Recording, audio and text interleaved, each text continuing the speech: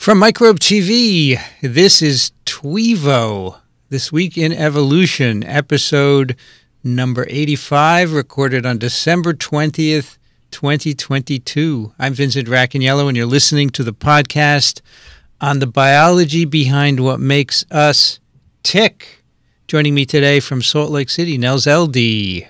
Hey, Vincent. Good to be with you from Elde Lab Studios. Happy holidays. We're coming up on the season here. Yeah.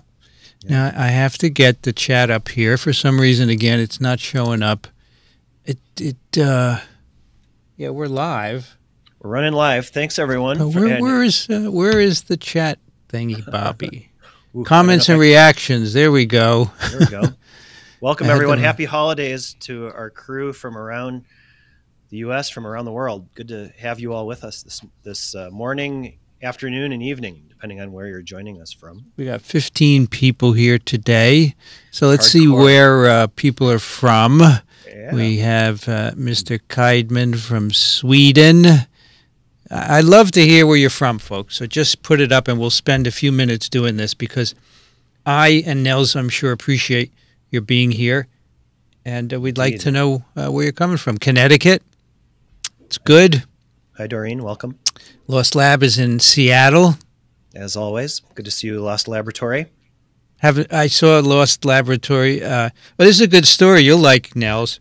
So Lost Lab took me to dinner in Seattle. I was there for ASTMH, Fantastic. and she she brought me to some cool restaurant in a neighborhood, a residential neighborhood, and we stopped and took a picture of me in front of Matt Daugherty's old place.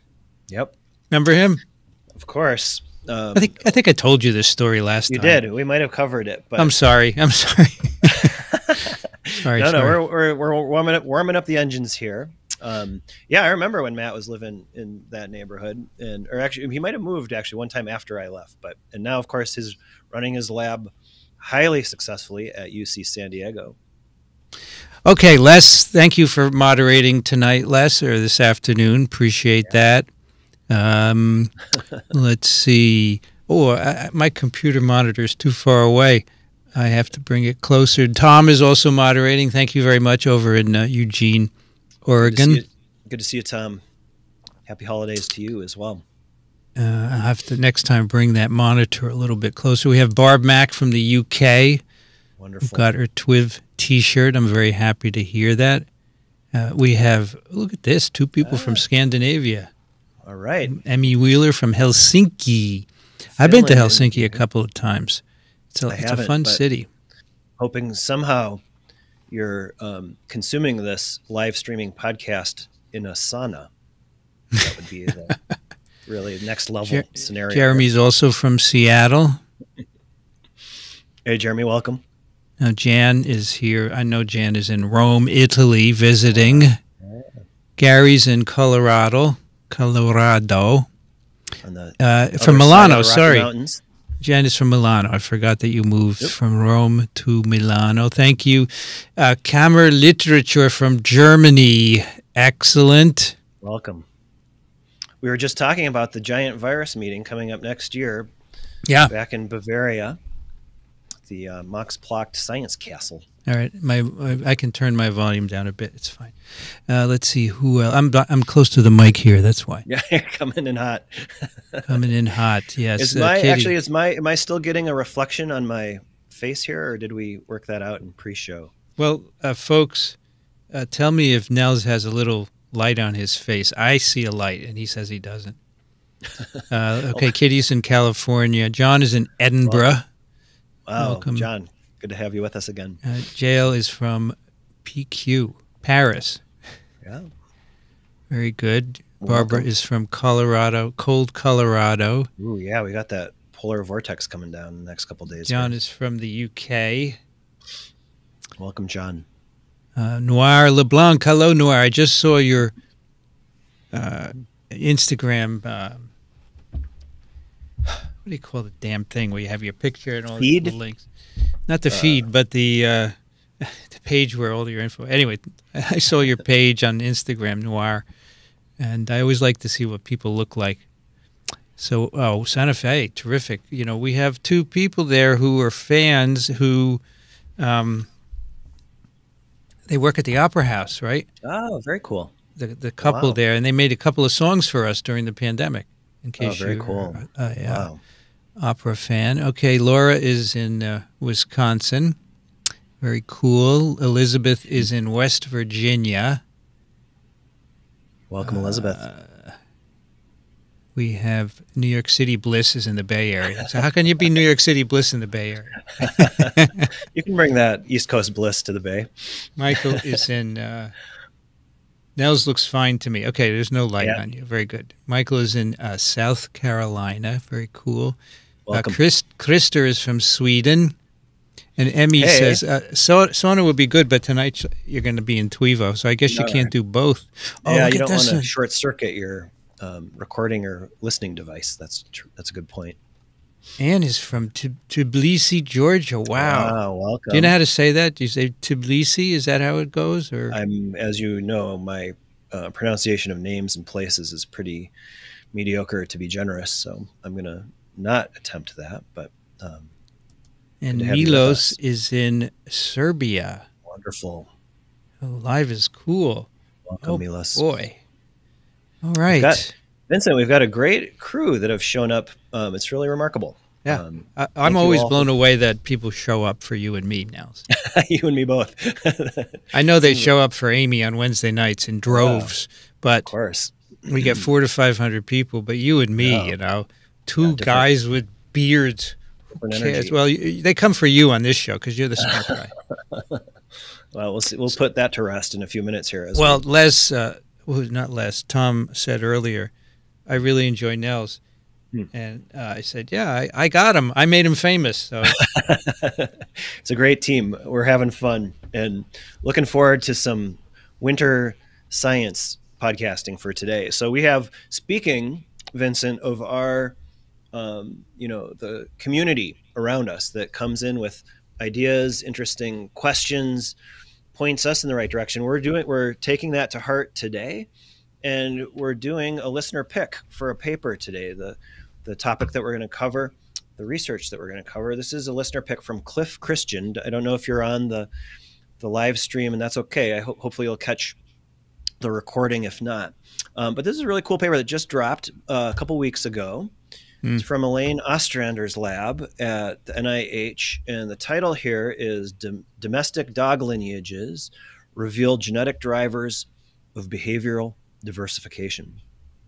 And so, um, Cliff, thanks for the heads up on this one. This is a topic that we've um, on TWiEVO, thinking about the evolution of behaviors that we've been very interested in. There's all kinds of interest um, in this topic. Where do you know what's the genetic basis of behavior, genetic basis of behaviors? Where do these things come from, and how can we you know start to get at sort of the genetics behind these really complex things? And maybe just to stipulate at the front, this is tough. Like this is sort of one of the frontiers, mm. biology, one of the frontiers of evolution, and so um, you know, don't want to give away the punchline, but I don't think we're going to um, sort of completely blow the conversation out of the water here or change the. There's a you know, one take home is there's there is a lot of complexity the deeper we look. Um, but before we dive in and get into the details, um, let's just lift up the authors here. So this is Emily Dutrow, James Serpell, and Elaine Ostrander, and um, uh, both Emily Dutrow and Elaine Ostrander are at the Cancer Genetics and Comparative Genomics branch of the National Human Genome Research Institute, part of the National Institutes of Health in Bethesda, Maryland, the intramural research program there. Um, and, you know, the genetics of dog breeds and related features, related traits, including today of behavior, has been on the menu for a long time in the Ostrander lab. This is not a new topic um, but using some new approaches, some new technology to see if they can raise the bar or advance the bar here. Um, and then James Serpell is from the Department of Clinical Sciences and Advanced Medicine at the Penn School of Veterinary Medicine, Philly, um, Pennsylvania, and um, a really impressed. I was just out at in, in Philadelphia uh, maybe a month or two ago, giving a seminar um, as we slowly emerge from pandemic hibernation, and was again reminded what an impressive, interesting place Penn is really a high concentration of academics from the medical school to the arts and sciences to the veterinary school, all sort of uh, mixing together in interesting scientific ways. And so here, collaboration of, as well. And everybody loves dogs, right, Nels? And everyone loves dogs. Let's be and yes, these are these creatures um, have sort of woven their ways into our hearts, into our homes through a really fascinating process of, of animal domestication over you know 50,000 years. Um, that maybe really picked up steam 10,000, 15,000 years ago in the history of our species. Um, cats and dogs are, you know, sort of uni- unique in some sense in how we've really embraced them or they've embraced us or almost, you know, some people have framed it that we've almost become addicted to these critters. And so this has really been kind of an evolutionary journey together with our species. What's cool um, is that we have, like many other animals, we have bred them to do specific things, right? Yeah, exactly. And so we've talked about this a little bit, you know, on TWiEVO Past. Um, I'm thinking of episode seven of TWiEVO, one of our first ones. We had a fun interview with Mike Shapiro, who's a colleague of mine here in yeah. biology at Utah. The title is um, Pigeon Fashion Week, Feathery Boots Edition.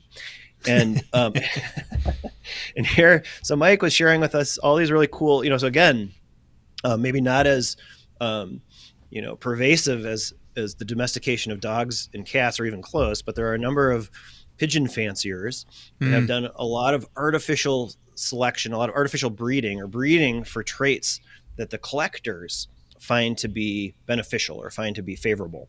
And so, in the case of the Shapiro lab, thinking about pigeons, they've now been using sort of the morphological traits. So this feathery boots, how does what what's the genetic basis of that? Um, different sort of crazy things happening with the feather patterns and the colors and, and, so forth of the of the breeds that then they, you know, collectors actually compete and, and score. They have like quantitative scores for the kinds of traits that they're looking for. And so, yeah, and, and that's been super successful. Also, some real success cases in dogs as well. Um, a few in cats, um, maybe less so somehow. Dogs and pigeons have sort of come to the fore.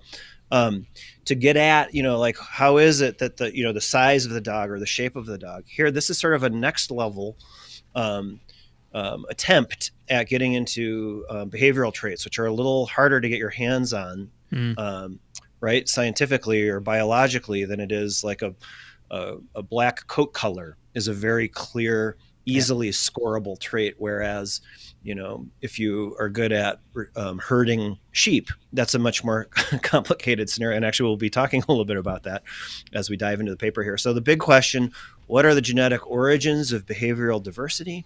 And can the dogs sort of lead the way, given that there's been, you know, not just the breeding for the size of the dogs, the sort of you know style or whatever, but also the behaviors. So so you know we'll go a little bit more into the weeds here in a minute, but um, some of this tied to like sort of taking what are already probably you know existing behaviors. So the types of dogs that go out independently and hunt rats and other critters.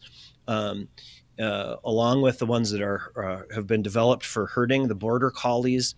Um, you know, you can actually go, Vincent, a, a few miles from where Elde Lab Studios is located, out to Soldier Hollow, which is part of the Winter Olympics. The cross country skiing is there, but in the summer now, you can see the border border collie championships, the herd dog championships, where these dogs there's massively complicated obstacle courses that also involve herding sheep in real time, and it's I mean, it's wild. And the, it's crazy what we do to dogs, isn't it? yeah. well, not just are, dogs, yeah. but all kinds of animals. So, what they say here humans have employed dogs for thousands of years to perform tasks such as herding livestock, killing vermin, hunting, yep. pulling loads, guarding, and companionship. So, it's very interesting. And that's the idea here is that maybe we could start to look at the genetic basis for this, right? Yeah, that's exactly right. And and so the authors, you know, uh, along those lines, even in the first sentence, kind of open up strongly here. So, selective breeding of domestic dogs to perform these specialized tax, tasks may constitute humankind's most consequential behavioral genetics experiment. And I so, never thought of that. Have you? That's really good. yeah, I think that's I like that framing. So, yeah. you know, whether so i agree and but like with all things with an experiment the question you know you don't know what the sort of results are going to be or how incisive that experiment will be um, and so we'll, that's what we'll pick up here and you know i think the authors actually really nicely frame sort of like why why tackle this really high degree of difficulty question now mm. and they they propose three sort of um, you know sort of recent advances that provide new opportunities to try to get at the genetic basis of behavior in dogs. And so the first one they lift up and, um, you know, uh, echo to our community here on the this week podcasts is citizen science. So, mm. you know, uh, scientists included as citizens here, right? A lot of people who really care a lot about their dogs, and um, and want to kind of contribute to that conversation about so what is the biology here, or what is the genetics, and so um, there's behavioral data sets now for thousands of breeds, um, and we'll talk about a questionnaire that turned out to be very useful in the analysis that they're doing here, and now that it's being sort of um, you know, considered at scale, how that gives you enough mm. data, sort of big data, to, excuse me, to really think about um, how there might be some hidden patterns or some complex patterns related in particular, specifically to behaviors that they want to try to tease apart here a little bit. Um, the second recent advance is in, you know, a topic that we talk about constantly on TWiEVO, which is whole genome sequences. Um, not just in humans, um, but sort of um, across the tree of life, but in particular dogs. So, you know, maybe an overlap with the citizen science approaches is that there's a lot of genomes out there, again, for thousands of breeds. And so now you've got sort of, on the one hand, these behavioral data sets. On the other hand, you have all of the genetic data sets. They'll spend some time kind of trying to catalog that in a new way um, and then bring it together to see if they can sort of draw some associations or links between the behavior and the genetics here of these dog breeds.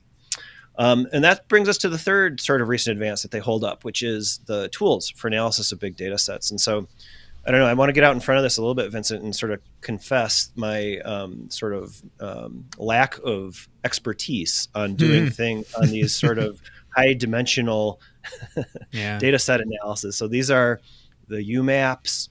Um, these are the, um, you know, related.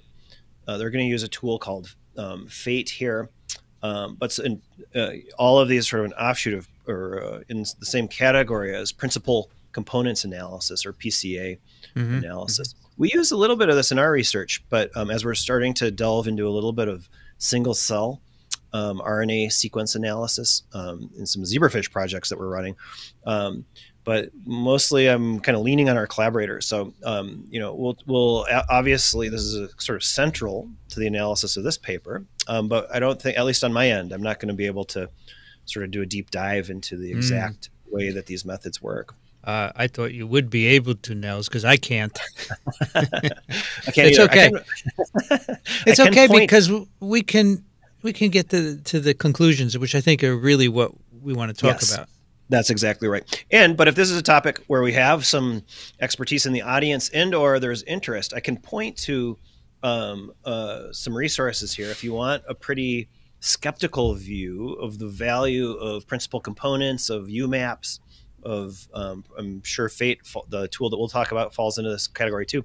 There's a um, fellow on faculty, uh, I think he's not Caltech. This is Lior Pachter, um, P A C H T E R. You can find him on Twitter, where he's been sort of launching scalding um, critiques of um, UMAPs and how they mm. and PCA and how sometimes these patterns, as we're trying to sort of intuitively walk through um, relationships or patterns in high density or big data sets, um, can kind of maybe fool fool you into thinking there's more um, beneath the surface here. So I think worth taking with a grain of salt, but obviously, um, as we're um, as a lot of groups are increasingly, uh, scientists are increasingly, including evolutionary biologists, are increasingly yeah. interested in analyzing big data sets. You know, this is sort of the state of the art of um, how to do this and to try to kind of squeeze some patterns or understanding out of what is like, you know, just a, a overwhelming sea of data. Okay, so I think that sets the table here. So what is the data? And this turns out to be um, about 4,200 plus or minus 4,200 and some change genomes or SNP array data. So those are SNP short for single nucleotide polymorphisms. These are just, it's sort of like instead of sequencing the whole genome, you have um, sort of a technique that allows you to, to just say, okay, re relative to a reference genome, in this case, a dog genome, what are the single nucleotide changes? And so um, you know, the genomes of the, the, I can't remember offhand the size of the dog genome, but we're talking, you know, into the gigabases of data per um, per sample multiplied by thousands, um, and the SNPs usually go into the millions, the hundreds of millions, as you're um, just considering the differences, the variation in these genomes. It, I was going to say what is interesting is they have yeah. purebred dogs, right? Yeah. The ones you see in the shows, mixed breeds, free yeah. breeding, and wild dogs. What a collection, huh? yeah, and that's important. So, um, yeah, we're, we're these, these data is scattered out across 200 and plus known breeds, as you're pointing out, Vincent. I think um, 700 of them are mixed or unknown. This is like so. Yeah. This gets that that idea that um, in all of this um, selection, artificial selection for breeds, as people have said, uh, you know, this is these are the sort of hallmark trades of what a golden retriever is to the to the real you know kennel club kind of collector yeah. level or the dog show people, right? That, that's then kicks off generations of selective breeding. Yeah, and so I want to show this beautiful. This is a I great figure one, right?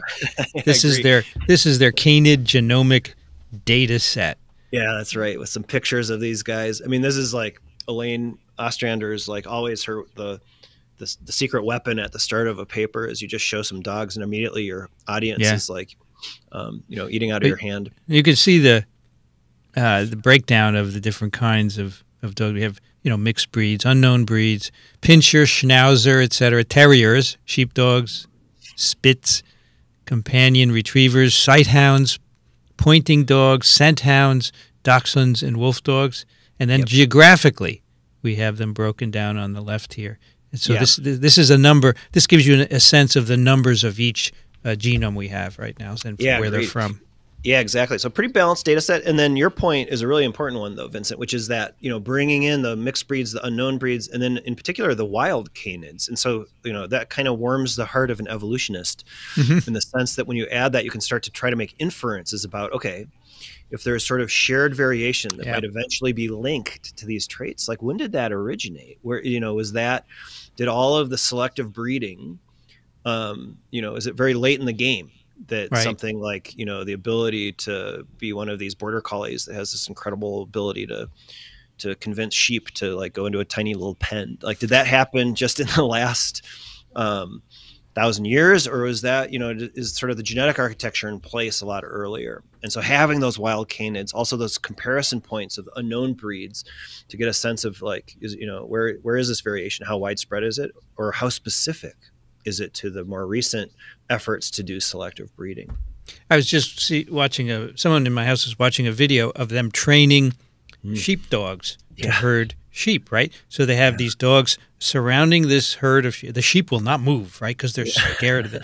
But you can imagine that you got some dogs who are there focused on the sheep, and then some are wandering off. So they take those aside. Maybe that's their pets, but they don't go into the breeding pool anymore. So that's how over the hundreds of years this kind of selection works, right?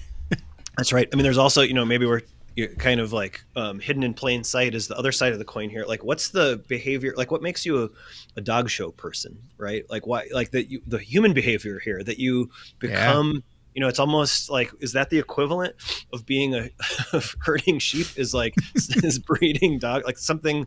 What's the genetic basis of being involved a member of the American Kennel Club?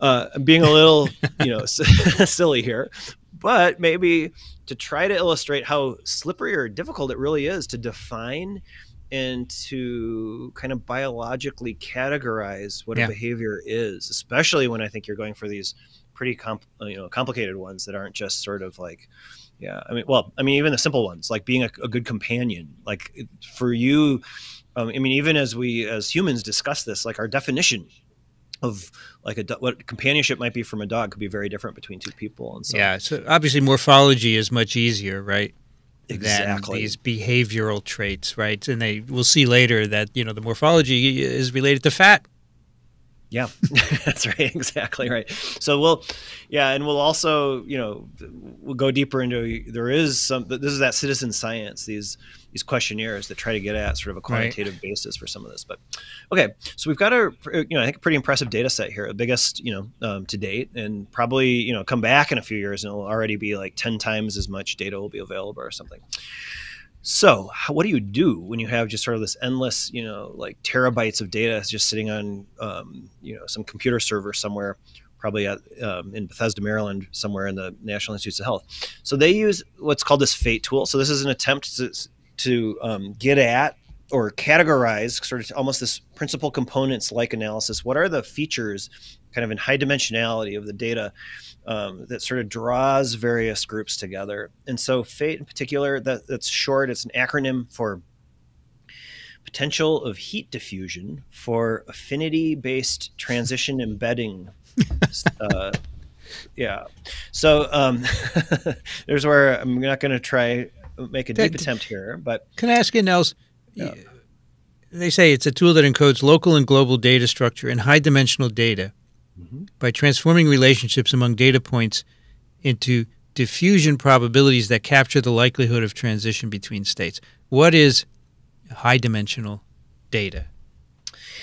Yeah, so my set, so the high dimensional data, right, is that you have um, sort of shared features. In this case, it's just so like, let's be really specific here, right? So the data is A's, T's, C's, and G's. Mm-hmm. It's DNA, it's genomes, and so you can start to march across that genome and say, oh yeah, here's a change compared to like a reference, like the, the quote unquote dog, the um, uh, which is adds an, there's another layer of complications here. But then pretty soon, you know, as you continue marching, you'll say, oh, well, here's another change. But this guy that looks a little bit different has this change, but not this one. Right. Right. Now mention, you know, imagine doing that millions of times or something like that as you go through billions of base pairs. And so um, the high dimensionality here is to like tease out what are the like relationships here um, in different, you know, so if you have this shared variation that might kind of put you together but you lack variation there that might pull you apart and so it's some some way to try to find uh, or to, to tease out those deeper relationships or the, the sort of layers of relationships based on shared variation Okay, Okay. I don't know if, uh, if that made sense. yeah, it makes I sense. 100%, Just so folks that, know, PHATE. Whenever Nell says yeah. PHATE, it's an acronym for this yes. computational approach they're using to look at these data. Yeah. Yeah, thank you. And that's spelled P H A T E. Right. Um, acronym for that potential of heat diffusion. I mean, so this is kind of interesting, right? So the notion of diffusion, so that there's some, you know, there's also I think this kind of hints at that there's some randomness in, or mm-hmm. noise mm. in the data as well. And so right. you're trying to start of, you know, kind of categorize around the noise using the other sort of you know sort, sort of these physical principles actually that then are being adapted or repurposed for looking in this case right. at genetic relationships or genetic data. So, so anyway, let me show you, you, let me show you yeah, one exactly. of these PHATE maps. Perfect. Right? Yeah. So this these these PHATE maps for the dogs start to look like these kind of hub and spoke situations. Right. And each of the dots is a genome, um, and in the data set or a SNP um, uh, uh, results from a SNP array, which again sort of quantifies or catalogs the variation from a, a, a, reference in terms of single nucleotide polymorphism. And so then what you can do is so the data sets are color, or the dots are color coordinated, right? And so um, based on sort of that, um, you know, max, I guess what they call the lineage. Um, uh, what am I missing this here? So the red to the to the blue. So the the warmer the color, the more sort of uh, relationship there is here between this. And so, you know, this is where um, at each point of the or each sort of tip of the spoke are a set of points that actually are like these kind of American Kennel Club sort of situations. So the terriers, the retrievers, uh, pointers and spaniels, the scent hounds. You kind of go around here, and then as you go deeper into those um, sort of the um, hub area of the PHATE map PHATE map that's where um, you know some of these uncharacterized or mixed breeds or unknown mm. breeds they've got a little like there's a genetic contribution from sort of across the different breeds there can also be you know convergence here on shared variation not because of lineage by descent or um, relationship identity by descent which would be sort of that just sort of generation to generation who are your parents were they more closely related to you know um, who, the next person's parents kind of thing and so anyway so you know why go through all this trouble actually when you could just do sort of a phylogenetic comparison which is right, like right. literally do you know to try to um, tease out and so their point is that there are um, especially as they're starting to think about these complex traits that it's not always sort of lineage by descent that there's going to be genetic sort of fingerprints or there'll be convergence there'll be sort of hidden relationships in the data set that there's enough variation here um, both between sort of the um, you know the free breeding and the very um, um, sort of purposeful breeding that goes on in the diversification of the dog species. And so, um, um, Canis familiaris, the dog species. Okay, so um, yeah, so these are these projections, and the hubs are these. That, I wish they would have spent a little more time, to be honest, going in a little bit of that sort of kind of comparing this to the phylogenetics, but just as sort of a fifty thousand foot view. Um, more of the hub region is what they're inf- are saying are the inferred ancestral genomes, mm-hmm. um, and how you get to that sort of ancestral state, given that it's all modern data sets, right? Whether it's from you know, so certainly um, there's some inference being made by like what's common among the wild breeds, the ones that haven't been domesticated. And as you get more derived or there's more artificial selection, that gets you out onto those tips of the spokes, and that's where you know the sort of top scoring American Kennel Club retrievers hang out, for example. Mm-hmm. Just to say that's not just a single breed out there. So that's like the retrievers, for example, that encompasses a number of breeds. Um, but again, like sort of they kind of come together as being um, more closely related. I think it was. Two, I found this interesting that they said the herder lineage, right? These herder dogs, mm-hmm. traverses through livestock guarding breeds, so dogs that take care of livestock, uh, and that gives rise to mastiffs on one trajectory and yeah. cattle drovers on the other, culminating in sheepdogs, which they say suggests that sheepdogs are the most genetically diverged from the ancestral state of the lineage. In other words, what was yeah. the original ancestral state of the canids. It's quite interesting, right? You can you can get that from this information. I agree, and so that's kind of the, that would be what the, I think they would hold up and say like this is the reason to do it, right? Is so yeah. they can once they have this cataloged, and we're looking at it here on the you know on the PDF in two dimensions. You can draw this in three dimensions. You can add more. You can add more dimensions and try to tease out these relationships. But then once they have that, then you can start to do this analysis on top of it, which are these pseudo temporal reconstructions, and that gets at the point that you just made, right? So they're trying to kind of you know are there is there enough signal here even in the genetic relationship to start to kind of you know propose stories about okay yeah like just as you said like what's the his to get out to the sheepdogs what mm-hmm. kind of you know what genetic stocks were, were happening or exchanging genetics over time or interbreeding over time to end up with today's yep. sort of um, slightly stereotyped behaviors uh, that they're hoping to get a genetic handle on and so that's i think you know the real um, you know potential payoff here of doing this kind of analysis is that you start to calculate what's called pseudo time. Like you're trying to work through not just what you see today but how did you get there? And are there sort of hidden relationships that become exposed?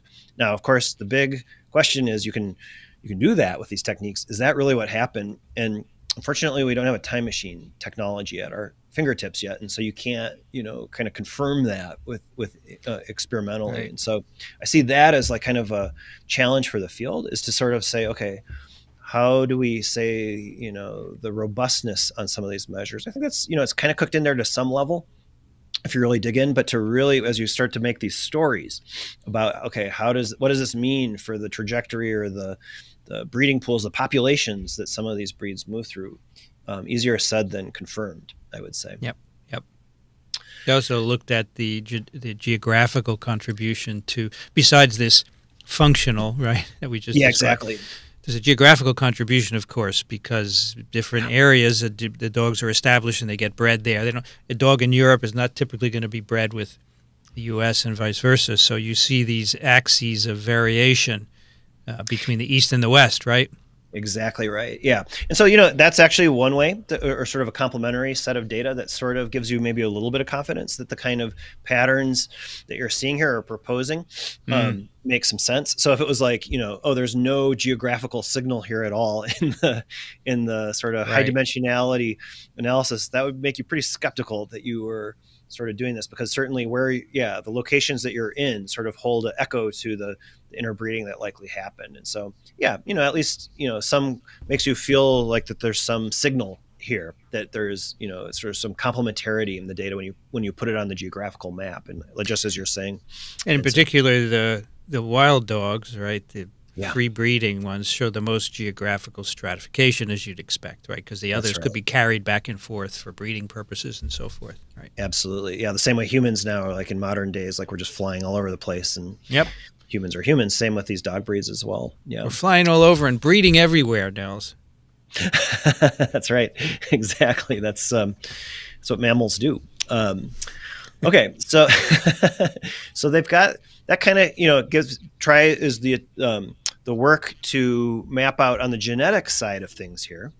Um, but then let's now add the thread of the behavioral side, right? So, um, and this gets at that citizen science. So there's this questionnaire. It's called the CBARQ, which is um, again another acronym. It's um, C B R B A R Q, mm-hmm. Canine Behavioral Assessment and Research Questionnaire. That's good. I love it. Yeah, it's a good. That's a great one. CBARQ. Um, and um, I'm not a dog owner myself, so I haven't come across it. But um, I think, like, what about you, Vincent? Like, if you were, if if you had dogs, would you participate in the CBARQ questionnaire? Try to. Um... Well, actually, we have dogs, but we haven't participated in this. Ah, yeah. I don't even know about it. what breeds do you have? We have a we have a a mixed breed, uh, a purposely mixed breed, right? A Morkie, which is a cross between a Maltese and a Yorkie, and then we have a purebred uh, dog which originated in Madagascar. That didn't fall into this paper. It's called a Coton de Tuléar. Very interesting uh, breed, but um, not here. But it would be interesting to know because they have uh, obviously been uh, spread worldwide, and so huh. Uh, that, that, would be an interesting study on its own. But I don't think they had any in this data set. Interesting. Yeah, yeah, yeah. Um, which just illustrates again like how much diversity there is among dogs, and yeah, like, this is just sort of like the tip of the iceberg. Yeah. But so anyway, yeah. So if you um, filled out the CBARQ, um, and they have data um, they note from 46,000 purebreds in this case. Um, and from this this data, uh, they derive 14 numeric phenotype scores. Um, and so now, you know, this feel it's not genetic data, but this is big data again. Now, in terms of the um, you know numerical scores, you're trying to quantify here some of these these phenotypes, and in particular the behavioral phenotypes. So, um, you know, l- let me just read off a few of these. So there's um, dog-directed fear. Are they? Is the dog afraid of other dogs? Uh, non-social fear, predatory chasing, um, owner-directed aggressiveness, uh, familiar dog aggressiveness, touch sensitivity, trainability, energy, stranger-directed aggression, stranger-directed fear, excitability, um, attachment and attention seeking, dog directed aggression and separation problems relationship problems. So those are the four and then you you know based on your breed you give scores and then you you can sort of do almost like kind of you know almost phylogenetic like analysis to try to um, correlate this and do that same pseudo time analysis so they show a heat map where this is in in figure three um, or now they're trying to get a sense of um, yeah, what are the hidden patterns in this data between breeds? And having 46,000 times four or 13 or 14 traits, phenotypes, that's a lot of data to crunch. So actually, they go back to the PHATE um, tool and try to tease out some of these, um, you know, um, components or the dimensionality in there. They run pseudo time. So now you're asking, you know, the question, not how are these genetic relatedly, but are there behavioral threads um, as these breeds um, became pure as they as you go out of the wild canids, the the free breeding, and mo- move into the purebreds. Are there patterns here, overlaps, or sort of some of the these shared features that might emerge? I love some of these correlations between breeds and behaviors, right? Like yeah, the terrier is largely clustered in the bottom left, consistent with predatory behavior and dog directed aggression, while, pre- while companion and toy dogs clustered to the right with increased social and non social fear. Uh, so, if you like dogs and you have one, um, you will see that uh, maybe your dog's behavior is in here.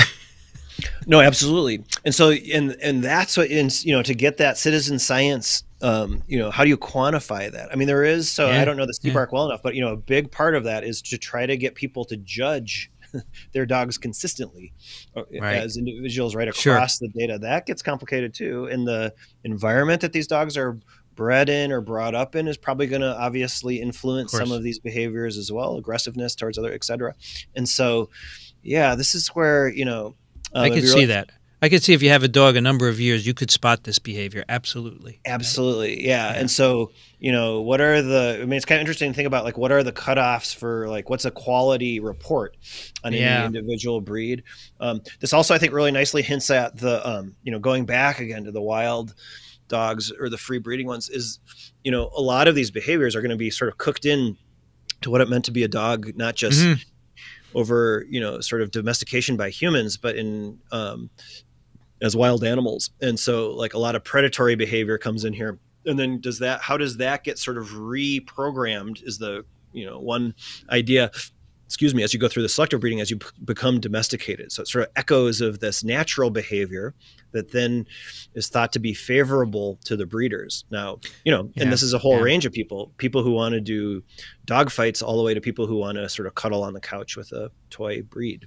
Here are a couple of others that I found interesting uh, as you might expect, a lot, a lot of overlap uh, between different lineages. Like trainability was generally increased among herder, pointer, spaniel, and retriever breeds. Yeah. Uh, increased trainability was broadly a feature of working and sporting breeds. The most significant positive correlations were between herder and non social fear, and terriers and predatory chasing. So if you have a terrier, you're probably saying, "Ah, yes, my terrier is always chasing things." Yeah. So the Morkie we have is a part terrier. Always wants to go out and chase little things. Always, never gets them, but that's yep. what's baked into that breed, right? Yeah, I love it. I love that description. Yeah, and so that's you know I think this is so. And then you know what you're really trying to do here with this kind of analysis, data analysis, is to is to really identify like how deep are those connections or how like how consistent or solid is that? Mm-hmm. and so this is where i think you know there's that really kind of subtle or that, that handoff almost between our intuition where it's like that makes sense and there's some real signal in that. There's some real information in that. But then you know how to judge that when you try to then link that or associate it with the genetics that really becomes sort of the million dollar question question here. So you get um, a, a few of the big picture patterns that fall out immediately. So as they start to think about like what are the variants here? So going back flipping back to the genetics you know they point out that many of the variants that they identify um, are um, at moderate allele frequency. So oh i should say i'm kind of skipped over. So this is um, now figure four. So they want to correlate these traits to the breeds and the scores and that kind of analysis and then perform GWAS analysis. So this is genome wide a genome wide association study um, and they decided, you know, maybe somewhat arbitrarily, but just like you can only handle so much information. The top 100 genetic loci that are associated with these behavioral scores per breed, per behavioral sort of, um, you know, of the 14 traits here.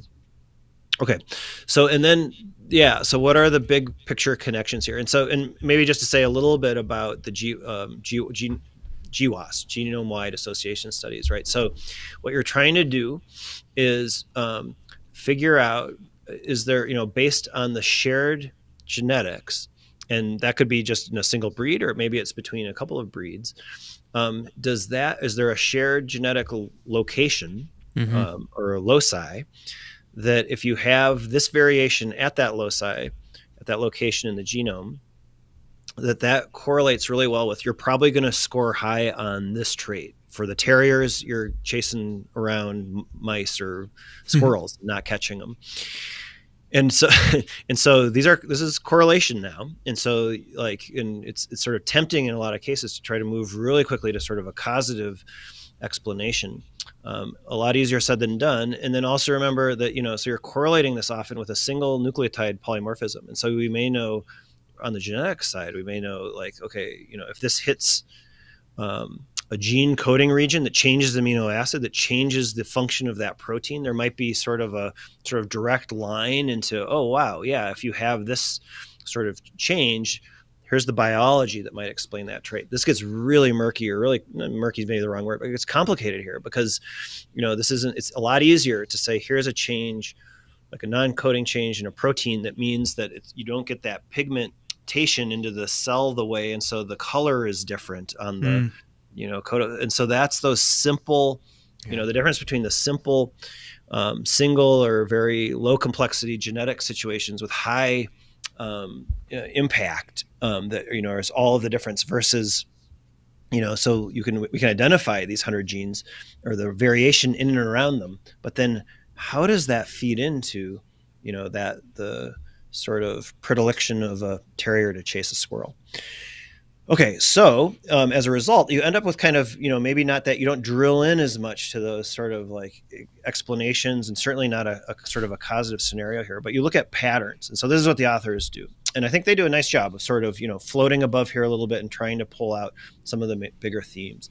So many of the variants that they find, so these are the ones that are correlated most highly, the genetic variation, the um, nucleotide changes are correlated most highly with the behavioral scores or shared behavioral scores across the data set are at are alleles that are at moderate frequency and, and sort of across the board. So um, they're not unique to any single breed. So it's like, you know, that terrier might really express this, but a lot of the same genetic underpinnings are in some of the other breeds as well.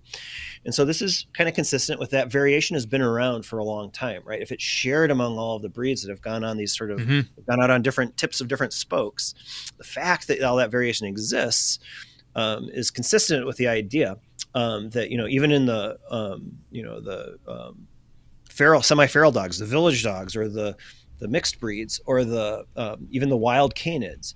Um, as you see this, that means that you're sort of like that existed. That all yeah. of the sort of genetic substrates were already um, before we started breeding in modern times, basically, right? Exactly. Yeah. So I think that leaves open the question. It's like, okay, well, why is this so exaggerated? This behavior or that behavior yeah. in one breed or another? And I think that's where the you know complexity of the biology might really start to um, kind of um, cloud things up a bit. Um, and so, yeah, you know, and this also actually probably speaks. I think they also note that, um, you know, maybe this pushes back how long humans have been domesticating dogs and actually breeding on these behaviors. So mm-hmm. this sort of brings the sight hounds, the retrievers, and the scent hounds that share a lot of this variation, sort of maybe kind of secretly into some of these same categories. Their ancestors were going through a lot of the same. Um, you know, selective breeding situations um, that continue to get even more sophisticated um, in modern times. And by the okay. way, these are these changes are largely non-coding, right?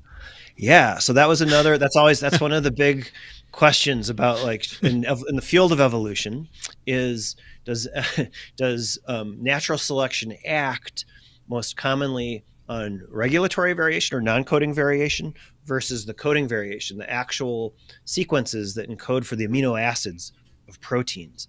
And so, you know, when we're thinking about um, host pathogen interactions, host virus interactions, oftentimes we see these these protein coding changes, the receptor for a virus, and then mm. the virus's spike protein in these sort yeah, of cat and yeah. mouse chases, right?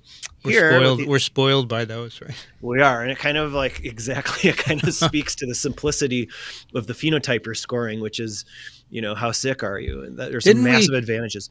Didn't we just do a paper where there were mainly non-coding changes involved in what we were looking at? Do you yeah, remember?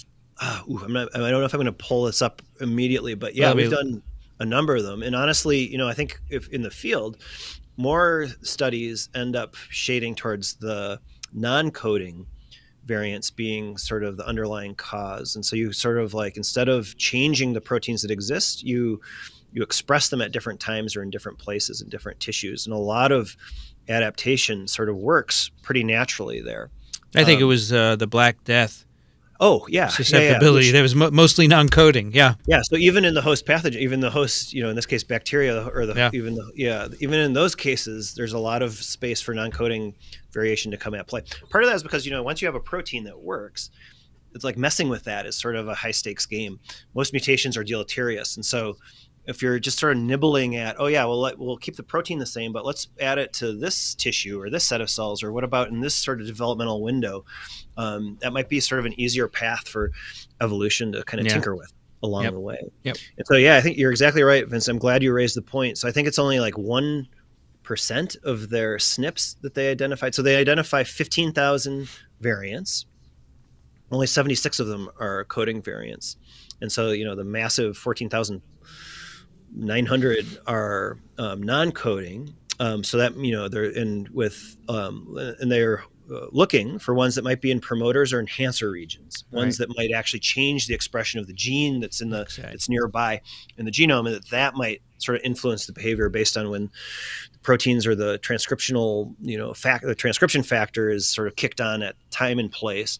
So you know, there's other massive data um, sort of sets available to look at this. The ENCODE data set um, is one. Mm-hmm. Um, a little bit underdeveloped for dogs, but that's where they they can start to even make some maybe tenuous, but um, you know, some connections to humans and mice, for example. And so, um, this is where they start to point the results towards um, kind of developmental um, changes in neurodevelopment, the development of the brain. And of course, again, this sort of makes intuitive sense that when we think about behaviors, where are these things coming from?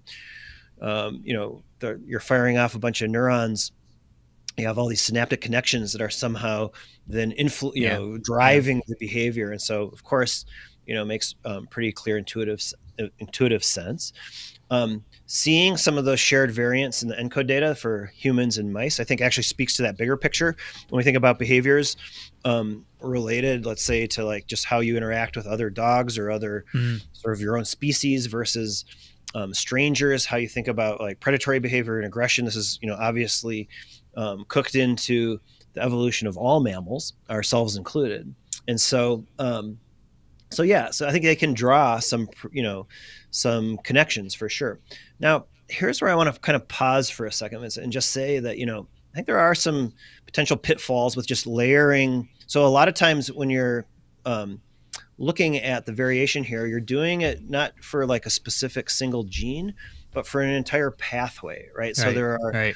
you know, a lot of our biology, a lot of our development has been characterized into these sort of shared collections of, of genes that encode proteins that might be involved in a behavior or a certain you know aspect of our cell biology. Um, you know like our immune systems like there's, a, there's like probably hundreds of categories that try to describe specific immune biological immune responses um, that are encoded by collections of genes. And so um, kind of already cooked into this right is that we're taking all of this raw data, which is just too overwhelming to kind of even imagine like any kind of hmm. reductionist mm. approach. But we're layering kind of category comparisons between categories, and we're layering mm. those comparisons on top of each other again. And so, for me at least, it's always just like a kind of a moment to kind of step back and say, you know, what are we really learning here? We're drawing, we're cataloging, we're drawing comparisons, and I think getting some broad themes, but that sort of next step of really drilling into specific insights or understandings about like what is the real you know what's the real functional consequence of this change?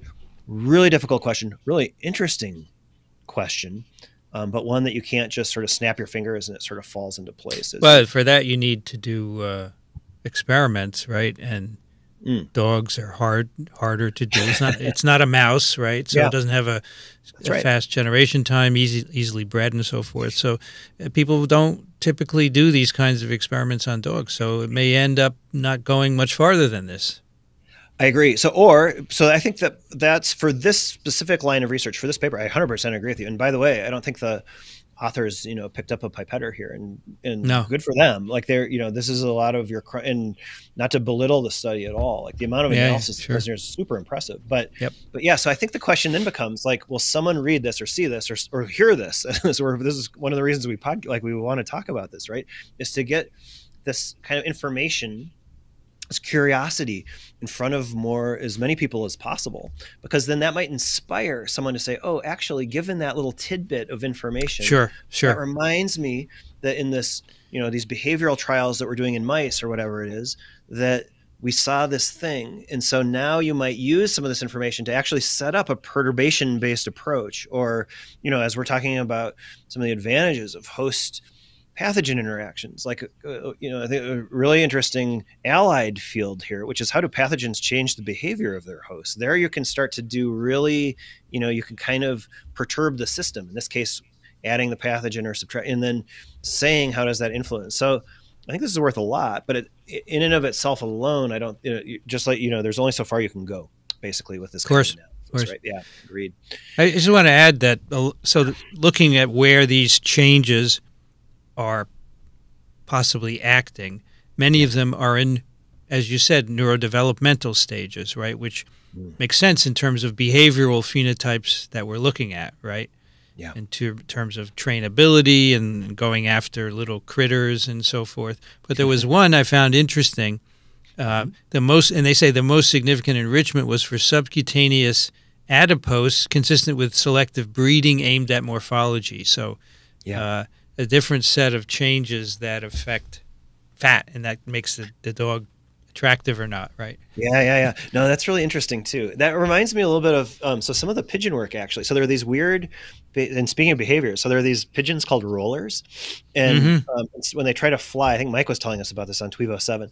They instead of flying, like they they're kind of messed up in their behavior and they end up rolling and then breeders think this is like interesting and they race rollers against each other but so some of the genes or um, variants are being identified there and then it's being linked to genes that in humans have been involved in like addictive behaviors so again it's sort of like these like interesting sort of connections drawn. Yeah um, yeah. you know in the adipose case like you can kind of see how um, artificial selection is sort of like you know you get the rough outlines of what might be going on here and then how that feeds into other biology that in kind of interesting and maybe unexpected for ways. sure for sure. Um, okay but yeah so they do actually do one kind of deeper dive here and that is with the sheepdogs. So they give yeah, us this one, is very cool. yeah, so let's do this. Let's go down this rabbit hole with them a little bit yeah. and see where we end up. Right. Okay. So um, um, because just as you're saying, I mean, my God, neurodevelopment is massively complicated, and the times and places happening. So, can how far can we go down the rabbit hole? Maybe is how how to set this up. So they propose one specific connection. This is from the sheepdog data, and in particular, some of that herding behavior again. So herding behavior, by the way, is easy to define, as they say, right? Yeah. So this this is very interesting and, and easy to observe. An instinctive herding drive. Uh, so it, it's not. It's a good phenotype to study. I agree. Yeah, and like golden retrievers aren't doing it right. They're just sort of, um, you know, yeah, just yeah. Uh, on your lap, hanging out and, and panting at you. So yeah, well, they're so, good. they're good at retrieving stuff, right? But they are. I grew up with a golden retriever, so I'm not trying to like cast shadows on those guys. I love I love them. Um, okay, so their GWAS comes back then with one of these functional categories, and what's kind of interesting is so you know, and again, grain of salt, but so it's in, specific to axon guidance. And so this is mm-hmm. kind of interesting, right? Again, at least from sort of an intuitive standpoint, which is so as axons, these are the projections coming out of neurons in the brain. And as the brain's developing, you can imagine that, um, you know, if your axons are being influenced to make different connections or a specific set of connections, maybe that underlies some of the behavior. And so I think that's kind of the hypothesis here. So what is so if and they dig in and they in addition to saying that that's the category, they actually identify okay, here are the genes and the changes um, in or around them, those non-coding SNPs. So eight of them are axon guidance receptors. And so if you're changing, if there's a, a, a shared variation here um, that's consistent with having this herding behavior in the sheepdogs, then you know there is there something happening with these eight receptors that maybe they're expressed at a different developmental time window and or on a different set of neurons in which case that would influence then some of these axon to syn- uh, connections to make synapses between right. neurons right? Okay. And then there's also four similarly there's um, four axon guidance cues that have some of this um, linked or associated variation and two gtpase activating proteins and so here, you know, they're kind of starting to drill in a little bit and say that, well, maybe you know, this kind of um, this these changes influence the development of the in in different brain regions that lead to the hypothesis that um, that this um, you know behavior involves vision and motor behavior by axon sorting at, at the optic chiasm.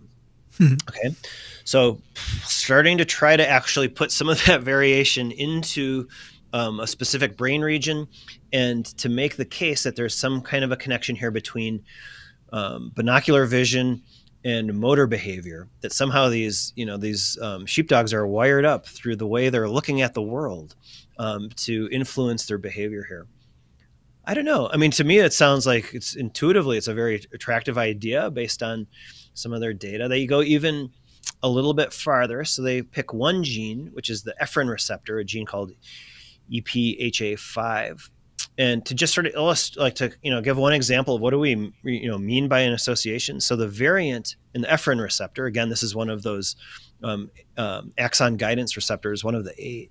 So the variant that they identify is in 77% of the border collies in their data set and only mm-hmm. 7% in other breeds. And so that's kind of the correlation, right? That's the kind mm-hmm. of data that they're trying to compile here down to the now the single SNP change. Um, and so then, you know, it's sort of, you know, linking the trying to turn back the history, linking like you go even a little bit farther to sort of link some of these traits to anxiety. Um, and, and so, sorry, so, you know, the ephrin receptor is even more studied in mice. Mm-hmm. So, what right. is some of the variation in, the, in this specific ephrin receptor? How does that play out in terms of mouse behavior? And is there a link to draw here, even sort of a deeper evolutionary link? And so, among mice, some of the variation in that specific gene or around it, the regulation of that gene, is linked to anxiety and to maternal pup gathering associations right and so here's kind of this cool evolutionary idea that if you take anxiety and you and with this impulse to like herd your, your mouse pups in a sense yeah, yeah. that maybe that trait has been kind of repurposed or wired among the sheepdogs the border collies um, and that you have this combination of anxiety and protective behavior that then explains that like you know impulse to herd sheep into those at the sort of dog show or the dog competition I swear we, we have done a paper, I don't know if it was on this podcast or another, about uh, maternal pup gathering in mice mm-hmm. and its genetic regulation. It doesn't strike, it doesn't ring a bell here, does it, uh, Nelson? No, I don't think we did it, but um, yeah. Um, it's very interesting. It's yeah, very I agree. And I kind of like this idea of, you know, so from this kind of hint, like this is a theme I think that you see in a lot of evolution is that you don't sort of like create an entire behavior from scratch. That's right. Right. That's but right. evolution takes existing modules or complexes or patterns and then brings them together in different combinations that then you mm-hmm. select on something that already exists in a new way. And that, you know, that I think increasingly we're seeing that that underlies, for example, you know, origins of multicellularity. A lot of the parts list are already in those ancestral, you know, per, you know, that split off before animals emerged from a last common ancestor. Right. These kind of things. Right. Yeah. So that's I, it. I, I, think there's some nice uh, themes that we have here, and and I think so. One of their conclusions is we have now using dogs, which for the reasons we mentioned earlier, right? We've been yeah. breeding them for certain behaviors for many thousands of years. We make a system for understanding how behavior is encoded in genomes, and this is as as Nell said, it's not easy to do because behavior is not like coat color. It's going to be multi-genically controlled. So here we have a system where we can start to get at that. And so they show the central role that behavior has been, been playing in the diversification of the canine lineage, right? We can yeah. associate a lot of these changes with the, the, behaviors that we've talking about. But they also point out uh, that when you have a complex trait like behavior, selection pressure is inefficient because um, not it's not enough to have one locus control. It's going to be multiple loci control because there's going to be multiple levels of control. And yeah. so uh, all of these things that we're talking about in terms of behavior is not going to be easy. You're not going to make a single change and change the behavior of a of a dog, for example. It's going to be more than that. Yeah. Yep. Yeah, and, I, and, and I think I think the other lesson uh, which well, there's two things that most of this diversification in dogs is driven by non-coding variants, right? Yeah. Which is really yeah. cool, and the origins of the behavior of most of the dogs that we see today preceded or predated domestication. That is, they were present in wolves already yeah. thousands of years ago. I think that's very cool.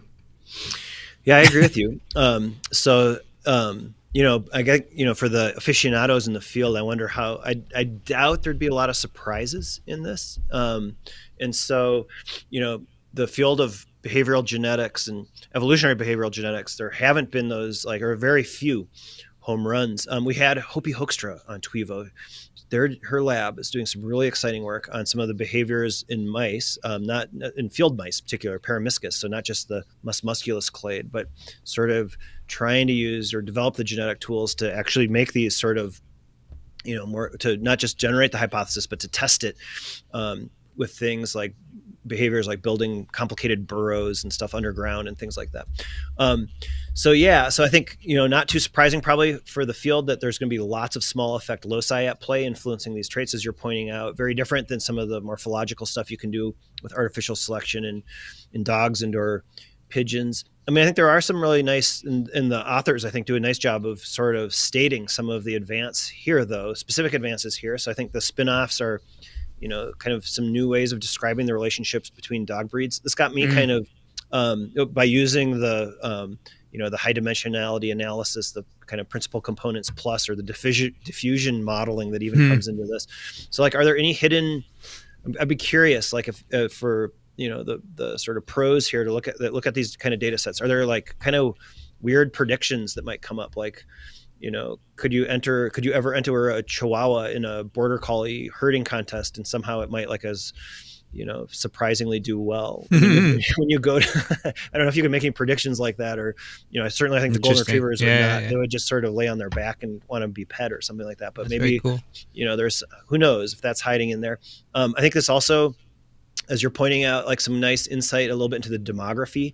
Um, they point out, I think, a really really nice cautionary tale to be a little bit cautious about looking through the lens of everything being through natural or artificial selection. That there's still drift um, in a lot of genetic variation that probably doesn't have sort of the functional consequences that you might just sort of predict from looking at yeah. it.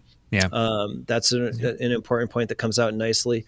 Um, then, as you're saying, the non-coding variants, they do. You know, mm-hmm. there is there are some holes in the analysis, so they don't look at any kind of copy number variation or structural changes in the genomes, which are certainly in there, but just not sort of you know even in the conversation based on the genome mm-hmm. sequencing or the SNP array technology that they use. So um, yeah, in the end, I think it was like really fun, sort of like a holiday inspired theme here. The dogs that we'll all be hanging out with over the holidays and probably, yeah, that's right. You know, curling up with a cup of coffee in front of the television or something. Um, and I, maybe I, will close my um, podcast peer review here with pretty remarkable that three three authors pulled this off. When you look at a lot of these, yeah, it's amazing know, genome scale papers, right? Usually the author yeah. list is as long as someone's genome. It's like hundreds of authors, and so in particular. I like you know, that. Yeah. yeah, I agree. A shout out to Emily. Dutrow, the first author who kind of a heroic um, amount of analysis, bringing all of this data together, analyzing it in these sophisticated ways, and sort of proposing these interesting and provocative hypotheses. We got some good questions here. Let's take some of them. Yeah, great. So uh, Les says Darwin studied pigeon artificial selection. Yeah, right?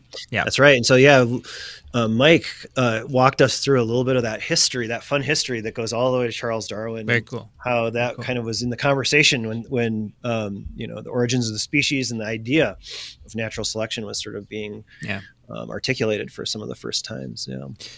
So John asks, can all dogs detect mm. cancer? So uh, this is interesting. So some dogs have been trained to smell uh, urine of cancer patients and detect yep. that.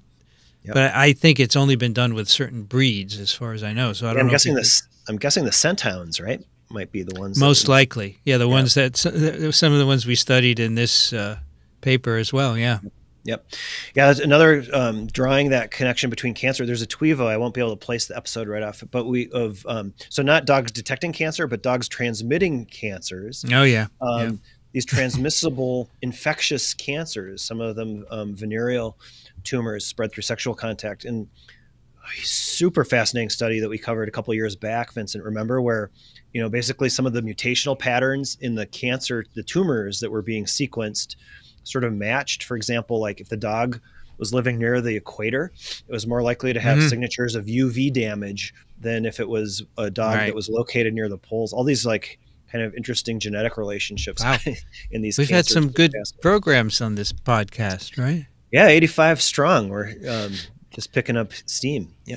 so Ian says uh, New Zealand used to get laughed at for a really popular TV program, a dog show. It was farmers and their dogs competing to herd sheep Collies didn't bark. Huntaways did. That's cool. I That's love very it. cool. Yeah. Thanks. Yeah, I had a blast going to one of these sheep herding contests, border collie herding. Con- like, um, it was just like a great afternoon. Um, yeah, and it's like the whole um, sort of lifestyle around whether it's dog breeding, pigeon breeding, or like chicken breeding, farming.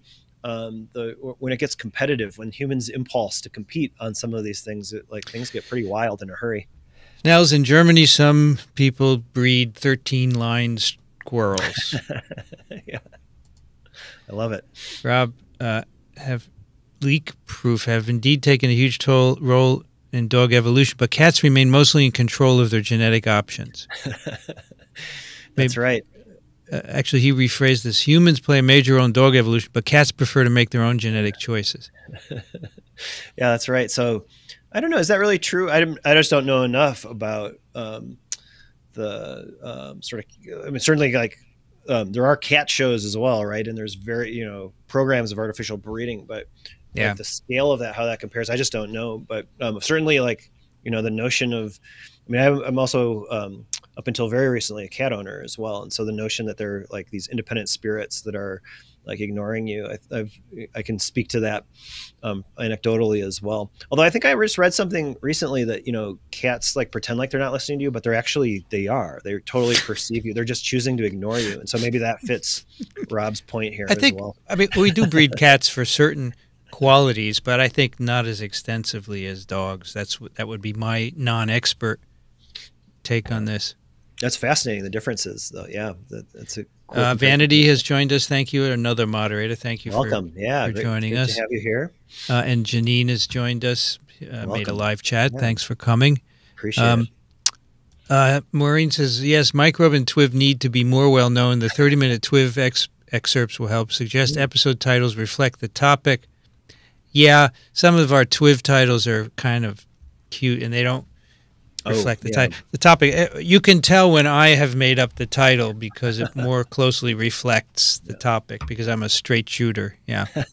so here, yeah, good points, Maureen. So the top, the title we've been playing around with for this episode currently is um, "Teaching Old Dogs New Genetic Tricks." I think that's kind. That's good. I mean, there would be a more straightforward one, but I'm not sure it would make much of a difference. All right, Tom says, he, go ahead. Sorry, Nels. Go ahead. Oh, no, no, keep going, keep going. This is great. Let's keep running. Uh, Tom said, here I'm reminded of a 1990s project that involved some faculty I knew who were crossing border mm. collies mm. in Newfoundlands for behavioral study. They were geneticists too. Don't know what became yeah. of it. Okay. Yeah, this, that's right, Tom. So I think Elaine Ostrander was involved in this, and there were, and so you know, speaking about this is kind of like Citizen Science Plus, where there are a number of, um, you know, um, dog owners slash geneticists um, who probably you know geneticists who weren't necessarily studying dogs at all, but, um, yeah. but were kind of drawn into um, some of this um, sort of intriguing. So um, Jasper Rine at Berkeley was also involved in this, um, and um, man, I'm yeah, I'm blanking on the details a little bit here too. But so a number of people like actually, you know, maybe didn't do the breeding, but like actually, you know, became owners of the dogs that were in that scheme to try to get at um, yeah, by doing so, that's how you can, you know, going beyond the genetic, um, the GWAS, the genome wide association studies. If you do a little bit of um, sort of purposeful breeding, then you can start to map traits. Is the idea using sort of traditional yeah. genetic approaches? And I think I think they got a little bit of traction, but I, don't, I think it kind of faded or fizzled a little bit. And I don't know that again, like the more sort of ambitious you got with the traits that you wanted to map, the harder it got because of the many loci small effect and sort of the sample sizes that they were able to get with the volunteers. But yeah, that's right. That's there's been some really fun attempts at getting at this with with genetic t- techniques. Thank you, JL, for your contribution. Really appreciate it. Love the discussion. Thanks for your time and expertise. My Thank pleasure. you. Yeah, that's great. Happy holidays. Uh, let's see. There's uh, BW Rock says there's is there something inherently different about canine versus feline lineages that make them more amenable to trait manipulation by humans? Yeah, or or you know, again, sort of spinning it around. What is it about the cats that like are they controlling us? Um, mm. Is one way of putting it, right? Like, how is it that they've convinced us, like these wild yeah, yeah animals to bring them in their home and we feed them for free and you know like clean their litter boxes for, again like we just like cater to their every their every myself included by the way guilty as charged like um, it's, it's yeah it's really fascinating. And, and then with dogs i think we think about it more like you know what are we getting out of this? Like doing the job of hunting or you know whatever it is or including it in our sort of daily lives. Um, you know, I think there's some really, yeah, there's some really interesting, almost gets into sort of philosophical questions there. That's, that's. I also great. think it has to do with the genetic diversity of wolves, the ancestors of dogs, right, compared to the ancestors of cats, and someone must know that because that could play into it as well, right? Oh yeah, yeah, yeah. And that reminds me. I mean, there are all of these. Um, I should know more of the details. I'm not going to be able to recover it, but you know, so these interesting like um, uh, sort of uh, experimental evolution with wolves to, to in these experiments that I think happened in like the 1950s or something in Russia, where they were like trying to select just for tamer wolves, like through generation to generation mm. specifically. And then if you do that as sort of an experimental evolution course, starting mm. from the wild canid, and then you know it'll still be a wild wolf at the end. But what are the ones that you've selected for that are the most sort of like friendly, basically? Um, and so that was, you know, that's another attempt or a different kind of route at going at some of the same questions. Yeah. Um, here's another one. Oh, Philip is in Wales. Good to have you here, Philip. Yeah, Thank you. Thanks for joining. Um, Vanity is listening in uh, while flying back from Seattle to JFK. So cool.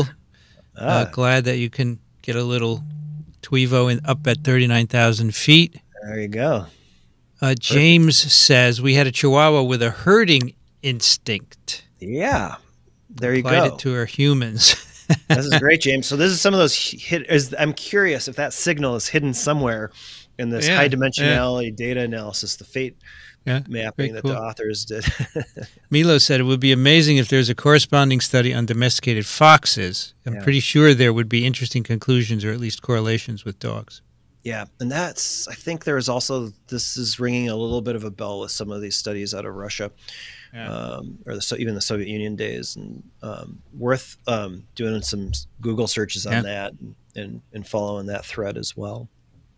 Tom says this paper embodies the sort of work that people barely dream about before the technology to acquire and analyze big, big, big genomic and behavioral data. Great summary discussion. Yeah, no, it's why it's. I mean, the data's here, and then the real question is how do we squeeze understanding from it? And so I'm a big fan of, of scientists who are like kind of taking on that massive challenge in interesting good, new ways. Good, uh, good engagement. Folks like their dogs. Julie says, wouldn't it be more training than just some breeds? All dogs have super noses. Some dogs train to find drugs, etc. But not all dogs will find drugs. Yep. Well, you can, you can always uh, breed to enhance these traits, right? That's the point. Yeah, which has been done, and so and that you know I think this, uh, Julia, it's a good point. Like kind of like the scent hounds, right? And so, you know, what was the natural selection that was happening in those ancestors that then have been repurposed into these, mm-hmm. you know, uh, uh, really like again these like really fine tuned applications. So whether it's detecting cancers, um, drugs, mm-hmm. explosives, and could we you know and i just don't know the field well enough but that, you could imagine that that could be a more directed as opposed to taking the C-BARQ the 14 sort of phenotypes you could maybe you could take a more focused approach on those and it might have some of the same themes and but with different biology behind it. Yeah. and then the question becomes is there like a cleaner thread to get at sort of the biological basis? I just don't know. Um, but it could run through some of the you know so still probably you'd think neurodevelopment but with a instead of through the you know optic chiasm as they're proposing for herding, obviously you'd imagine this will run right through um, olfaction and some of the you know the wiring to the nose and and, and how that's so fine tuned.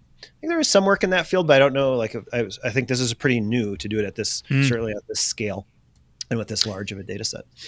Oh, Gary says, when my kids were little, my neighbor's dog used to herd all the kids in the park onto the playground. It was amazing to watch. That's so cool. Yeah, innate behaviors. They just can't help themselves. Maybe Vincent and I are innate behavior is podcasting. We can't like resist once a month getting behind the microphone. Well, and... um, I certainly like it, and I convinced you to like it, and you really have taken on to it, Neil. So I think you're you're here for the long run, probably. That's right. Yeah, exactly. let's not try to UMAP that. We're, we'll just keep doing it and having fun. I think it's all about curiosity to a certain extent. You know, scientists uh, like to, to talk about their work. It's just mm-hmm. who they choose to talk to is usually restricted to other scientists. But we have yeah. uh, we got a SNP that made us go beyond. That's yeah, right. I think there's some more genetics under the hood there. but yeah, Barb Max got a great one here. That's totally choose to ignore their slaves. Speaking as one, Us. yes, yeah, yeah, and, I, and that's the right framing. I think that it's not that they're not perceiving um, the world around them and their um, human partners, but they're ignoring them as yeah. a as a as a, a, pretty deep theme. So Vanity says some noses are better than others. Training is huge, though. My GSDs were way easier to train than my Dalmatian. Hmm. Hmm. What's a GSD? I don't know, a dog breed, of course, but I'm not sure. Let's can we decode this? And Vanity will probably GSD clarify here. Dog, dog breed, German yeah. Shepherd, dog. German Shepherd dog. There you go. Okay, Tom here. Uh, call, my mom cooked border. Okay, Tom wasn't into border collies. Okay. Yep. Uh, I think dogs smell yeah, the dead tissue. Cancer has no smell. Maybe a cadaver dog. Uh, so they they get uh, metabolites in the urine. That's what they're That's smelling. Right. Yep. Right. Which are yeah unique to somewhat unique to the tumors. I mean, there's a yeah. echo of this right with oncolytic viruses that somehow over replicate in tumors and less so in normal tissue, which is sort of like being trying to leverage as a as a therapy yeah. to tumor. So those yeah, taking advantage of those metabolic or those slight differences between normal cells and cancerous cells in this case in order to train on a, a scent. Yeah. I have to highlight this one. I'm sorry, Tricia loves me. So thank you, Tricia. I appreciate it. Uh, foxes in Russia. There we go. There was a book. It was an yep. end run around Lysenkoism. Oh, cool, cool. Yep. Uh, and Trisha's in Bristol, UK. Thank you, Trisha. Thanks for joining. My mixed terrier likes to herd. Okay, there so yeah, there you go. And uh, Nicola's in Italy. Welcome, Nicola Toraca. I love it. uh, Vanity says there's a great paper on high nurturing rat mothers affecting epigenetic changes that lead to calmer, less aggressive pups. It's fascinating. I bet. Yeah. Yep. I bet. Uh, and Tricia writes, I wonder what would happen if they studied the evolution of humans who lived in captivity due to chronic illness and lack of access to effective treatments. Trust me, mm. will we be evolving? Well, of course. Mm. That's right. Getting at the, um, connecting to the, we are evolving, connecting it to the genetics. Easier said than done. What about the microbiome in our pets that could be also playing a role in driving our behaviors? Absolutely. I know this is great. So this brings up one of the old chestnuts, right? So maybe not the it involves pets, but maybe not directly. So the you know the toxoplasma infections mm. of mice that convince them that the smell of cat's urine is the most beautiful thing they've ever encountered and, and come across, and then they like sort of the mice will gleefully um, uh, show themselves to the cat, which will then eat them, and which continues the replication cycle of toxoplasma moving between hosts. Mm-hmm. Sort mm-hmm. of this microbial um, uh, modification of behavior. How that applies out to the microbiome, I think, is a great question, which is uh, also an active topic of research. And um, you know, stay tuned. Maybe actually, you know, we're kind of coming up the year end for 2022, Vincent, so we can do a little bit of our science crystal ball gazing. What are going to be the breakthroughs in 2023 and beyond? And um, you know, maybe this is the year for like behavior, like some r- real um, genetic links between microbiome and behavior. Um, maybe I'll go out on a limb and make that as my prediction. I think it's still still early days. I'm not early sure. Days. Yeah, maybe I ten years tough. from now. We'll see. Maybe it's ten tough. years. Some Philip says some UK companies are using dogs to detect bed bugs. I'm not surprised. You could train them. Uh, the, of course, we've heard that you can use dogs to detect a person who is infected with SARS-CoV-2. Yeah, right. You just so have to train yeah. them. That's right. So this raises an interesting question. So if you're doing this with, and I just, and again, I don't know enough here, but if, if it's the same breed that you're training either to, you know, focus on a tumor, a bed bug, or another, uh, an explosive or mm. drugs, whatever it is, if it's the same breed, are you in that training? Um, so trained versus untrained, is it going through all the same circuits or, you know, neural circuits or, so the developmental pathways will be the same if you're using like, you know, siblings or something like that, but then training them differently. And then the question becomes like, is it the same biology that you're tickling or are there differences based on the cue that the yeah, dog is yeah. trained on? Um, that would be interesting to maybe, you know, to try to frame that up and see what the progress is. But um, even these simple, quote unquote, simple experiments, like easier said than done, I would say. So BW had a 150 pound Rottweiler, as gentle as could be, that would herd my kids when they would play in the yard. I don't think a Rottweiler is a herder, right? Yeah, I don't know. So we need to we need to do a deeper dive into the C-BARQ data set, which has, um, you know, all of at least the purebreds and then the scores. And yeah. herd, uh, I think that was one of them. And so, um, yeah, we'd have to pull that up. Like Hmm. I don't actually is that so energy trainability. I'm not sure that that comes up. The herding is as one of the 14 phenotypes, and so hmm. um, hmm. how they pull that together is uh, yeah another question. But um, really interesting to, to think about those shared sort of features between different breeds. so well. Julie says a lion it will, in a way, herd his prey until he finds the weak one to catch. Yeah, I guess that's yeah, correct, right? Herding, or in that case, like even team hunting, right? That's yeah. a whole other yeah. behavior. Yep. Oh, oh, Julie loves me too. Thank you, Julie. I appreciate it.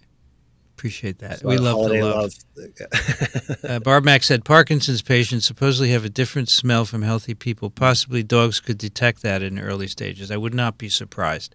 Yeah, interesting yeah. idea. Yep. The uh, the sort of futility of our noses compared to other mammals, dogs included, is pretty. Particularly pretty after COVID, right? yeah, there you go. Yeah. oh, Trevor, welcome. First time from Norwich, UK. Welcome to uh, TWiEVO.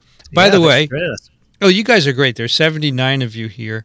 Yeah. And we have 62 likes. Maybe those of you, you can hit the like button. It doesn't cost you anything. And that helps other people find us. You know, the more, there's an algorithm at YouTube. The more likes, the more people are going to be recommended to come over. So check it out. Uh, back to Milos on the Siberian fox experiment is mind blowing.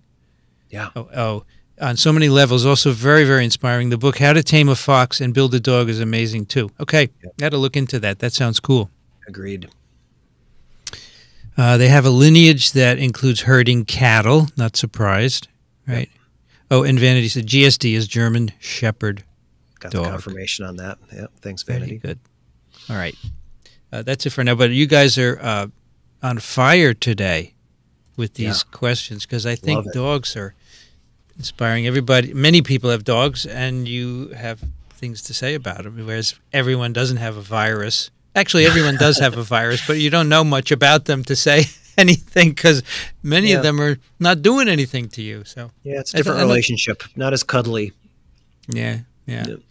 Uh, was one more here. RE, the microbiome, millions of years of hmm. evolution mm. results in if you can't beat them, kill the host, then join them. Convince Coke, the pet human host, to support the microbiome. So this is a very interesting issue because the more you look at it, we did a, a brief paper on immune this week where the mm. microbiome is influencing antibody responses, right, to gut pathogens. I mean, it's just at every level because we have lived with bacteria. You know, bacteria were first, and they exist with everything that evolved on the planet. So you're going to have some very interesting evolutionary outcomes. Yeah. Yeah, and and you know maybe another way of framing it um, is sort of the gene centered view of evolution, and so you know obviously the if the imperative is for the genes whatever from wherever genome or source that they're coming from to yeah, to, yeah. to continue to exist, then how do these sort of you know tenuous collaborations come together, um, all ranging all the way from collaborative to um, adversarial. Yeah. Um, yeah. And, and that can lead to all this complexity in, in the forms and, and conglomerations of life. It's really fascinating. Well, you're getting very poetic, uh, Nelson. but I, I think the the interrelationships of microbiomes, viromes with uh, their hosts, is a huge area that is going to be many, many years sorting out, if ever. But if you want to work on something, if you're a beginning scientist, man, that's very cool, although not easy. Not yeah. easy to do. Agreed. So much great uh, stuff. BW, thank you for your contribution. And Appreciate folks, you know, there is a there. I never ask you guys to contribute because you're all really good, but yeah. you know, in the holiday spirit, why don't you hit the super chat button. Give us a buck or whatever you'd like. Uh, this is the holiday season. It's a fundraising season, and so we'd love That's to have your support. All tax deductible in the U.S. It's all tax deductible, yeah, in the U.S. Yeah. because we are a nonprofit. But I don't know about elsewhere. But Tom, the mind is boggled. That's good. Thank you, Tom. Yeah, agreed. All right. Yeah. Um, you want to do some picks, Nels? Yeah, let's close out with our science picks of the week. I'll start. So, um, just ran across a really cool um, post. Uh, this is titled, uh, it's on Ghosts of Science Past. And so this is the author here is um, Brandon Ogbunu. He's got a, one of the best Twitter profiles or handles out there. He's Big Data Kane um, on the faculty of at Yale at Ecology and Evolutionary Biology. And so he's, you know, a few months ago there was a dust up. So um, E.O. Wilson, sort of one of the giants in the field of of um, sort of um, you know nature um, um, natural sciences passed away, and um, you know in the in the kind of remembrances and also sort of you know looking back on his life. Mm. some issues came up with some you know associations and, and with race science and various things like that. And so how do we deal with this? The ghost of science past and um, I really like um, Brandon um, Ogbunu's um, take here. So he connects it very like personally. So he met E.O. Wilson when he was a grad student and, and he was sort of a retired faculty, still active. And, um, and then, you know, I think what usually happens, as he points out, is like we have these dust ups, and sometimes it's litigated on Twitter. There's the whole sort of cancel scenario, and then the backlash. Mm. And and, the, and what he's raising is, you know, are we really making progress in these conversations when we sort of continuously sort of almost re- hit play on tape when we deal with this? And so, you know, this takes a little bit of a dive behind the scene to not sort of like avoid this, but to try to add some positivity. So, like one of the pullout quotes here is that you know, to reconstruct a person's legacy is to grapple with complexity. We should not be afraid of the multiplicities that are at the lives of people that we admire. And so, you know, that kind of, I think, almost strange human quality that if we admire someone, we want them to be perfect or somehow bigger than life. And to take maybe a more realistic view of that, that doesn't sort of lead immediately to like a cancel culture scenario, but, but doesn't just sort of back away and, and say that that's okay too, but to try to reflect on this and to, um, you know to do to, to learn from it and to and to use these conversations more positively to to try to make science a better place to try to make society a better place. So anyway this is my pick of the week. It's That's a short cool. read about yeah about five ten minutes and i think worth um, you know reflecting on a little bit over the i like this quote uh, he says uh, he cherishes his copy of Consilience, The Unity of Knowledge, an ambitious but flawed book that contains one of my favorite ever quotes by a scientist. Quote, the ideal scientist thinks like a poet and works like a bookkeeper, and I suppose that if gifted with a full quiver, he also writes like a journalist. Isn't that great? Isn't that cool? I really yeah. like that. Really yep. good. All right. Agreed. So, how about you, Vincent? What's your science pick of the week? All right. So, I'm stealing a pick from Chiara Mingarelli, who was ah. on Twitter uh, a few weeks ago. She's an astrophysicist, Nels. Cool. Very and cool. Um, She's the sister of Angela Mingarelli, who's our latest addition to the TWIV hosts. Oh, fantastic. Uh, she is a young PhD student at McGill, and mm. uh, she's joining us once a month. But her sister, she mentioned, I said, get her on TWIV. So we had her, and she talked about black holes and gravitational wave backgrounds. She came right here to the uh, incubator. Oh, very cool. Anyway, she, her pick was this book by Sean Carroll called mm. The Biggest Ideas in the Universe Space, Time, and Motion and she said it's really wonderfully written. I got it. I'm reading it, and I love it. So uh, oh, I want wow. uh, everyone to check it out as well. So Sean, there are two Sean Carrolls. One of them is that's right, the evolutionary guy, right? Evo Devo yep. guy. exactly. Uh, and, and yeah. this one is the space guy. So, right. and I like them both. They're both amazing. How about that? You have the same name and you're That's really right. good yeah, writer. Can exactly. you believe it? Yep. Convergent so that's, evolution. that's my big, yeah, convergent evolution. Uh, but well, folks, great. if you uh, any of you want to send us a pic, we'll read it here. You could send it to TWiEVO at microbe.tv. Uh, and uh, we have now a bunch of people responding to my request for bucks. Um, I really appreciate it, folks. Oh, I don't wow. mean to, to, Thank you, Barb Mack from the UK. Happy holidays. Uh, Roberto Amezqua Thank you so much for your contribution. Um, and yes, uh, YouTube does take a cut of this, but you know it's a good platform that we are using, and uh, we don't pay anything for it, so I don't mind helping them out as as well. Yeah. Uh, Milos, thank you so much for uh, your contribution as well. Rob, thank you. The rolling, the roiling twenties are rolling over us over, over and over. That's right. Um, and Nicola says Vincent is getting into physics. Uh, Not really. I'm just really, um, you know, Angela told me her sister was a great communicator, and that's what we were about on Microbe yeah. TV. Great scientists who can communicate. So I wanted to get her on. And I was blown away because she's a wonderful communicator. She sat here next to me. She's looking at the camera the whole time. She's talking with her hands. Not once did she hit the mic, which I tend to do Ooh, now yeah. and then. She knows how to look and explain things. And you know what's really cool? She works like a couple of blocks from here at the at the Flatiron Institute. Nels, oh, there's yeah. A, do you yeah, know the yeah. Simons Foundation, Nels? Yeah, I do. And I have a um, funny story. I'll try to do it quickly. So, um, one of my colleagues here, we both our kids are both in the same daycare class, and he was just at the Flatiron for a sabbatical the last six months through the Simons. Yeah, he's a computer scientist, and so um, yeah, really great institute and small world in science and the connections within two minutes we can come for up sure. with sort of yeah for sure. So th- she said that the Flatiron Institute has. They have a lot of uh, astrophysicists there because much of what they do is computational. And she said that's exactly. what she does. She goes there. They have a computing cluster in the basement, and she runs whatever it is that she does. She's actually a faculty there and yeah. at UConn, and she lives in New York because she doesn't have to go to UConn but once a, a month, you know. So very cool. Gig. And speaking of big data, like our dog, you know, thousands of dog genomes is like a drop in the bucket compared to the data crunching they're doing at the Flatiron and related places in the yeah yeah, yeah. Yep. that's why they need to have a cluster. She said we have a cluster. I said what's that a chocolate bar? No it's a computing cluster you moron yeah. all right folks thanks so much for your contributions. Thanks for being here today. We got this is a great uh, number nels. We have 80 people and 77 likes. You can't get much better than that. Beautiful. All right. Happy that is end uh, of the year Great and end of the year episode. Nels, thank you for picking uh, that paper out. Thank you. Thank uh, thanks to Cliff Christian, who is our listener pick on the. Thanks. Paper. Good. Thank yeah. you, Cliff. Uh, that's TWiEVO number eighty-five.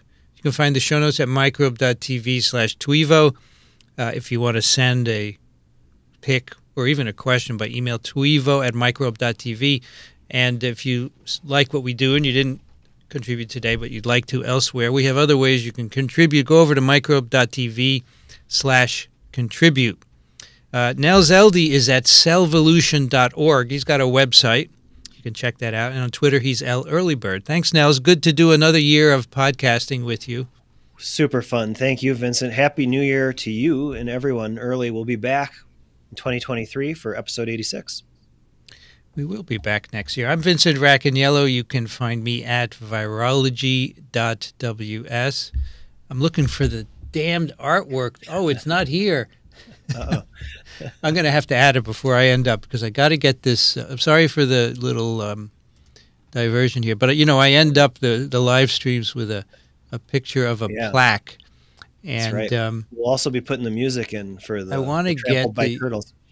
I want to get the plaque thingy here. Where the hell is it? I'm going to have a little interruption. There we go. All right, I'm going to put it. Uh, show in all scenes. There we go. Now I'm going to go back to Nels. Okay, there we go. And I got our, our plaque there. There we go. Uh, anyway, music. I'm Vincent Racaniello. You can hear, find me at virology.ws.